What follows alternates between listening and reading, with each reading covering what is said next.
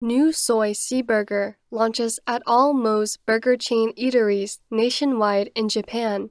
As a vegan offering replicating the taste of its fish burger counterpart, MOS Food Services Incorporated has created a burger with a vegan fish fillet resembling the flavor and texture of white fish, sandwiched between buns made with soy milk cream and spinach puree.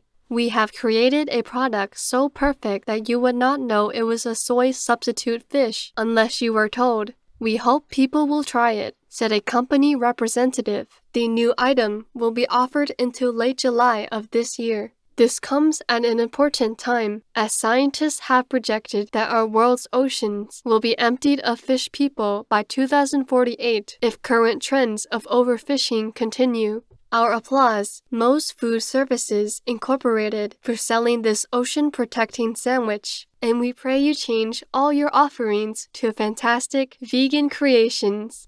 May people and companies around the world transition to delicious plant based alternatives to save our biosphere in Buddha's boundless compassion.